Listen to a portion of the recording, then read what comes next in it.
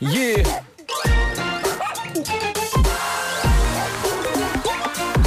O homem que mordeu Peraí. o cão. Há pouco, Nuno Marco disse: Tenho um título que me orgulha. É isso. Tem a ver com cheiro. Título deste episódio. Se a tua mansão vistosa um mau pivete tiver, enverga um vestido vaporoso e emborcajolas para esquecer. Ai, adoro. Já dizia a minha mãe. Isto, é, isto é António Leixo. É António Leixo. É. bom, vou só antes partilhar a melancolia e o vazio. O vazio com que estou hoje. Porque a minha série chegou ao fim ontem na RTP, 1986. É verdade. Eh, e eu quero agradecer a toda a gente que a viu e as mensagens que têm chegado. Ponham outra São vez. muito comoventes. Eh, Portanto, o meu estado é algo nostálgico hoje. Eu hoje estou sensível. A minha, a minha pele emocional está vermelha depois de ter estado exposta ao sol da ficção televisiva. É lá. Não sei que imagem poética é essa. Sabes que hoje joga Portugal com Marrocos e a única vez que Portugal jogou com Marrocos foi em que ano? Foi em. 1986. Ah, claro, México 86. México 86. Este? O Mundial do México não estava no teu, na tua série? Não, porque a série passa-se em fevereiro. Mas se tivermos uma segunda temporada, que será no verão, aí iremos falar de México E 86. do caso Saltilho. Sim, claro que sim. Vai acontecer. Marco, o que é que foi o caso Saltilho? Não me chateis porque eu estive a estudar sobre isso precisamente para escrever a segunda temporada. Tive que ir à Wikipédia. A Então sítios tão respeitáveis como a Wikipédia para me informar sobre bem. eh, eh, o caso Saltilho. Bom, uh, alguns na América ocorreu uma operação stop. A polícia achava que o condutor Daryl Riddle estaria a guiar o carro sobre, efeito, sob o efeito do álcool. O homem obedeceu, parou o carro.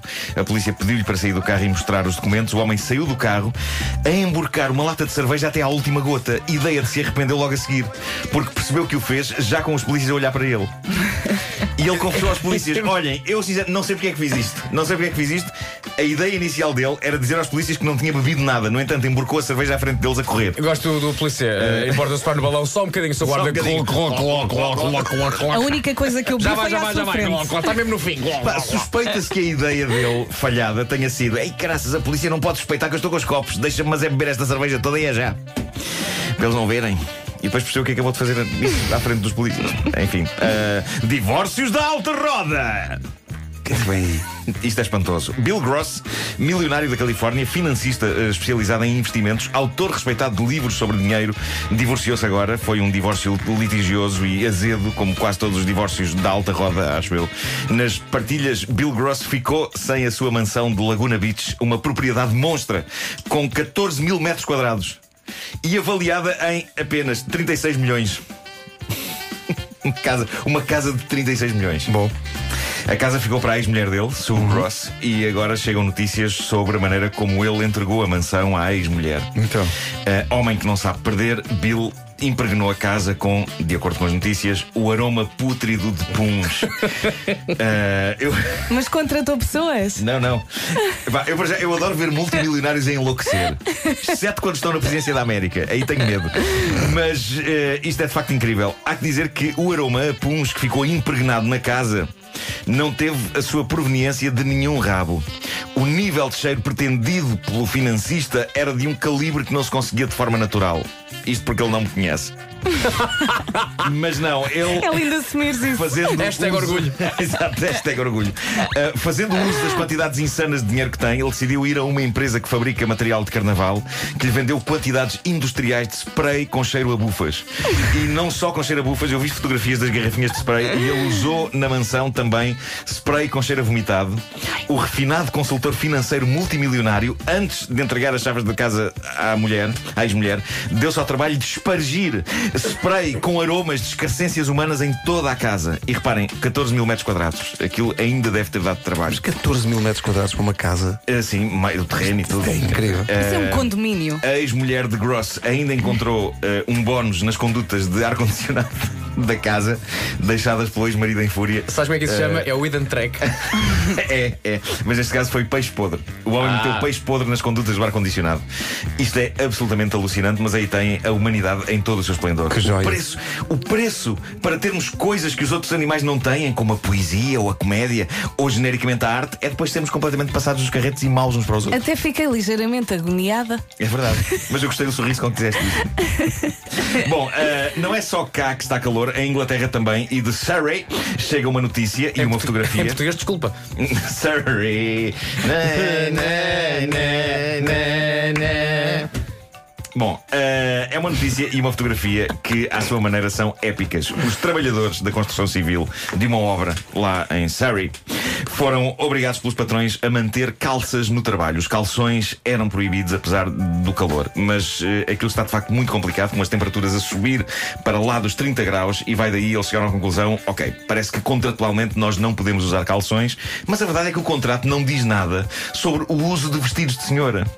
E assim foi. Agora, há uma obra em Surrey, no Reino Unido, em que os trabalhadores estão com vaporosos e leves vestidos de senhora.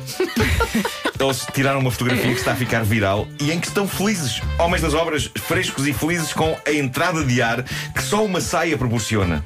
Eu estou quase convencido. Colegas, fica aqui a sugestão. Epá, assim, nas regras da rádio comercial, não há nenhuma linha que impeça um homem de envergar um vestido de verão de senhora. Um para, escocês. para proporcionar arejo. Mas o kilt é quente. Ah, pois é. Não estes vestidos assim vaporosos que elas usam. Por exemplo, um igual a, a da Vanessa, assim Eu todo usava na boa o vestido Hã? da Vanessa. Eu usava na boa. Porque a Vera chegou aqui às 7 da manhã e disse: Tenho, venho hoje com um vestido que é muito sensível. Pois é. Sim, sim, sim. sim, Sensível. É que o tecido é muito delicado. Sensível. Ah, é, é. É delicado. É delicado, é. Pronto. Se eu fico presa numa porta, fico nua. Exato. Delicado note, está bem. É isso, é isso. Ah, bom, ah, portanto, como nas regras da rádio comercial não há nenhuma linha que impeça um homem de envergar um vestido de verão de senhora. Tu queres vestir ah, o vestido? Estou a pensar nisso. Queres o meu, Preciso de arejo. Ah, Este era já- Acabaste de dizer que é sensível. Eu acho que se eu tentasse entrar dentro desse vestido, ah, epá, o vestido desaparecia. Põe só assim Bom, nos ombros. É isso, é isso. Bom, também não há, é certo, não há nenhuma linha, há que dizer, também não há nenhuma linha no contrato com a rádio comercial que impeça um homem de usar calções e eu tenho calções. O meu problema com os calções é que me expõem demasiadas pernas e eu não tenho uma boa relação com as minhas pernas. Quando eu ando de calções, fico com a sensação de que as pessoas que olharem para mim de relance ficam com a ideia de que eu estou encavalitado em cima de dois homens nus, baixos e peludos. Oh, Marco. as minhas pernas são duas entidades para lá de mim. As minhas pernas são pessoas. Ah, a da esquerda é o Tojó, a da direita é o Camolas. Dão-se bem? O Não, não, não, Não? dá-se bem. Às vezes implicam um com o outro e há uma dor nos joelhos. Como é que se chamam os joelhos? Não, não, os, os- calma, os joelhos pertencem ao Tojó e ao Ah, não, claro. Os joelhos não têm um nome. Mas eu, por acaso- lá ser coerentes nesta. Pedro, Pedro, joelhos com o nome, não sejas parvo. Não sei, pá, realmente, onde é que eu tinha a cabeça? Realmente. Posso apresentar uma reclamação assim rápida? Vamos a isso. Os calções agora de homem são muito curtos. Muito Não, curtos. eu acho que há de vários tamanhos. Não há, Eh, eu estou farta de procurar. Eu quero uns calções, Olha, não estes para mim. comprei-os ontem, lá são muito curtos. Não. Não? Qual, qual é o Não. tamanho ideal Isto é até um um pelo joelho. calção Isto é de um homem? momento de Pelo gajo joelho. radiofonia É, agora. joelho. Pelo joelho, mas é que eu só vejo aqueles que, que- que ficam a tipo mini saia. Pelo meio da coxa. É. Pois. Esses são giros. Gostas? Gosto. Dou-te.